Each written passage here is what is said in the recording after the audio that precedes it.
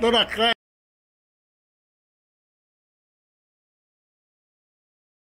Fala sobre isso que eu não gosto. Já passou, são águas passadas. De Como é que- Doc Street e de Ângelo Diniz que ele matou. Como é que foi? Mas não quero falar desse assunto não. A senhora já é citada em livro, a senhora já é citada em Ah. podcast. Ah, tu já descobriu isso? Mas eu não quero falar sobre esse assunto. Esse assunto é um pouco particular. Porque muitas pessoas na época pensaram que eu estava mentindo. Mas graças a Deus, estou com 63, 63 anos e nunca fui omitir nada daquilo que aconteceu.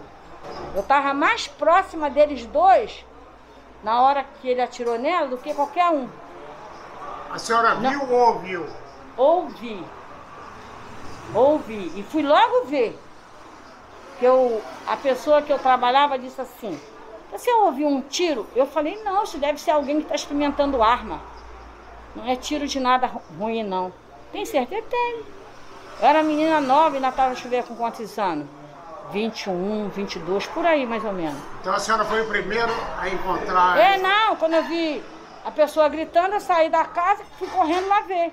Que era a última casa dos ossos na época, no lado que entrava pra Ferra- pra Azeda. A penúltima casa era a casa que ela estava. E de manhã, de cedo, de tarde, eu servi drink pra ela, aperitivo, cedo, na Praia dos Ossos, ali no último final da praia. Tava ela. Boa tarde. Boa tarde, senhor Raul. Boa tarde.